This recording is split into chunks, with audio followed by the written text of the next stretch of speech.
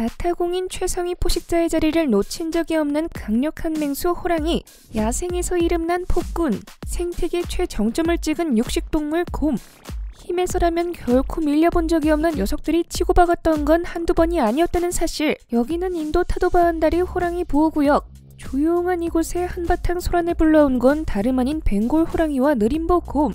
두 녀석은 30분 동안 서로를 물고 핥히며 싸우는 중이었습니다.